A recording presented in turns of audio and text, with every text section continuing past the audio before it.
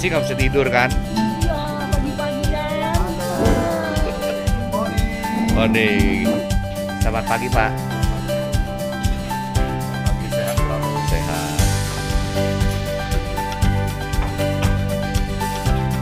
Pagi.